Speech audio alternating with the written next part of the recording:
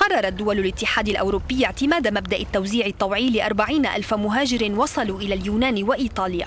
صيغة اعتبرت ضبابية لا تحدد المسؤولية الملقاة على عاتق كل بلد. رئيس الوزراء الإيطالي ماتيو رينزي أصيب بنوبة غضب وندد بعجز قادة الاتحاد عن التوصل إلى اتفاق جدي. ما لم يوجد تضامن بشأن عدد صغير مثل أربعين ألف شخص فإن ذلك يعتبر استهزاء من أوروبا. ولدت أوروبا وكانت إيطاليا بين الدول الخمسة التي أسهمت بتشكيلها على أفكار الحرية والديمقراطية والقيم المتشاركة.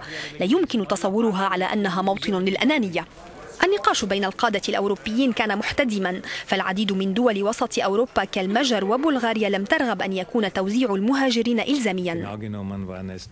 سبع دول قالت إنها لا تستطيع التعايش مع صيغة صارمة كالتي اقترحناها يقول المستشار النمساوي.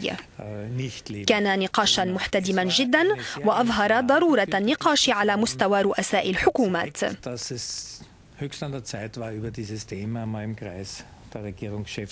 منذ بداية العام دخل أكثر من مئة ألف شخص بشكل غير شرعي إلى الاتحاد الأوروبي عبر المتوسط أو تركيا. إيطاليا وحدها سجلت وصول ستين ألف مهاجر إلى أراضيها. الرئيس الفرنسي فرانسوا هولاند قال إن بلاده ستتحمل جزءا من عبء المهاجرين مع الجارة إيطاليا دون أن يعطي رقما محددا.